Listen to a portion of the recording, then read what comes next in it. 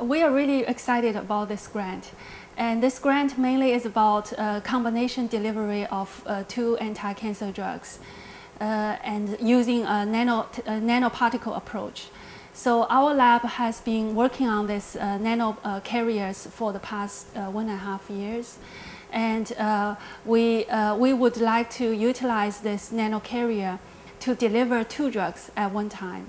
And two, these two drugs actually, one is already clinically approved uh, named uh, paclitaxel, and the other drug is 17-AAG, uh, which is currently in clinical trial.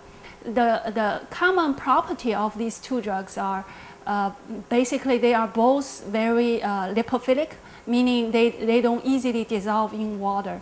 So when the patients receive these two drugs, actually uh, they have to take, have to accept large volume of toxic organic solvent at the same time.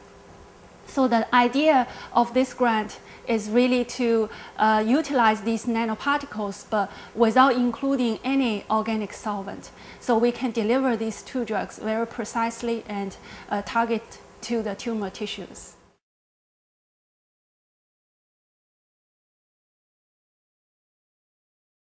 The benefit would be uh, one thing you, we, uh, uh, the, the organic toxic organic solvent will be eliminated. So the toxicity from the organic solvent will be erased. And the, the other uh, benefit, uh, probably more significant, is uh, we will be able to target these uh, anti-tumor agents more specifically to the tumor tissue versus uh, the, the uh, spontaneous dis distribution to the healthy organs in the body. So in other words, uh, the, the toxicity of the drugs will be reduced and the efficacy of the drugs uh, are expected to increase with this approach.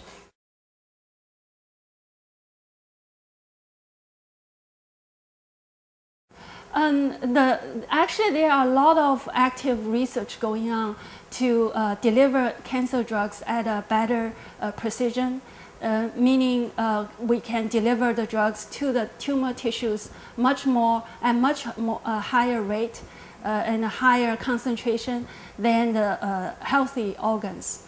but the, the novel um, approach we are taking here is we try to utilize the same a nanoparticle but deliver two drugs simultaneously. And this hasn't been done uh, extensively. And uh, we consider our research quite novel in this uh, uh re regard.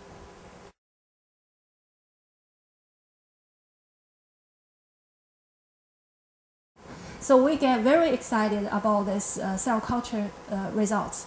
So the next step, actually, we like to investigate these uh, nanocarriers when the, both drugs are loaded in the micelles. We like to study these micelles and see whether uh, the, the tumor growth can be significantly suppressed when we use the uh, nanocarrier approach versus the free drug uh, when they uh, administered in the uh, organic solvent. So we like to uh, have more clinicians uh, look at our data and uh, get interested in our research.